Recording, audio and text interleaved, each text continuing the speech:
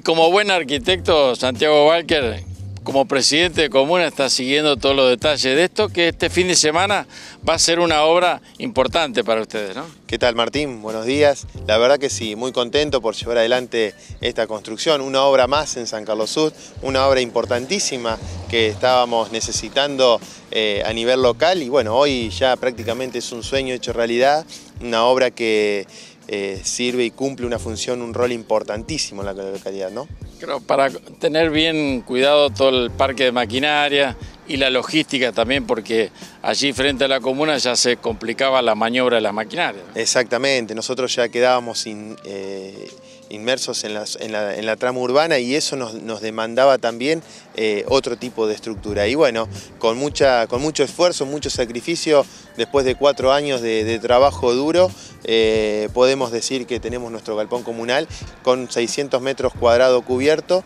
eh, para poder almacenar y alojar todo el parque de maquinarias que venimos trabajando hace varios años ya en San Carlos Sur. Y seguramente con gestiones a través de la Dirección Provincial de Vialidad te han confirmado y están trabajando intensamente en la reparación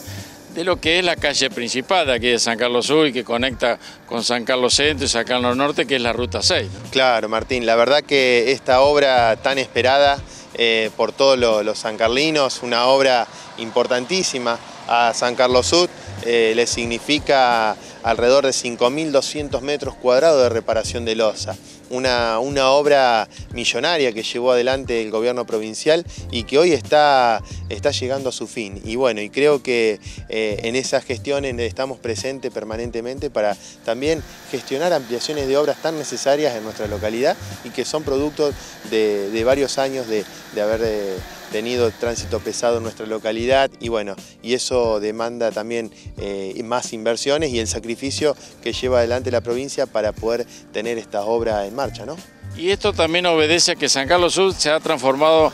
en una referencia también cuando se habla de sustentabilidad. Ustedes han tenido un buen tratamiento al medio ambiente con el, el tratamiento de los residuos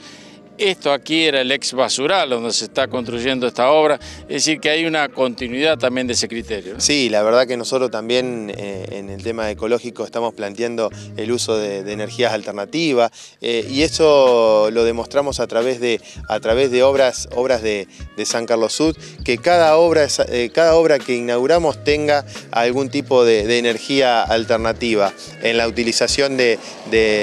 las energías renovables y todo esto que que, venimos trabajando ya hace del 2013 con un barrio solar, con la incorporación de una bomba de extracción de agua en el vivero comunal, con ser prosumidores de 3 kilowatts de, potencia en el jardín de infantes que hemos construido en el año 2017. Eh, y bueno, y esta obra que estamos trabajando para, para ser también nuevamente generadores de energía, pero a través de nuevas energías estamos estudiando eh, el tema de los vientos para poder transformar eh, energía eólica en energía utilizable y bueno, eso es lo que, lo que estamos detrás de esta propuesta y bueno, es un sueño, esperemos poder continuar eh, adelante con, todo esta, este desafío de,